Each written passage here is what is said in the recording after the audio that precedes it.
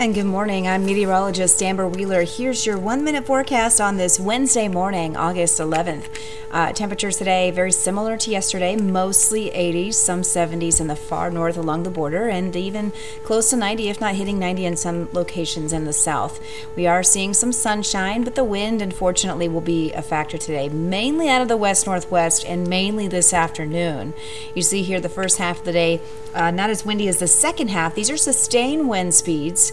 Wind gusts as high as uh, maybe 35 at times, and so it is going to be kind of a windy afternoon for a lot of us. Then the winds taper this evening. So here's your precision cast in terms of moisture. I mean, it's to a minimum. This model, I think, might be even overdoing it with a few isolated showers and storms, but those are associated with a cold front moving through. That's changing everything for Thursday.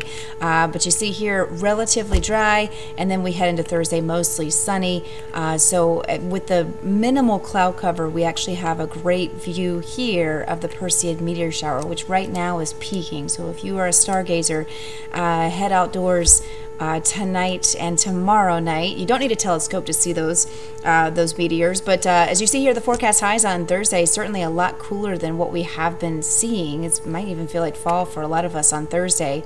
Your temperature trends show the heat as we head back towards the weekend. We've got a hot one again. It will be dry, but rain chances are right now looking a little more abundant for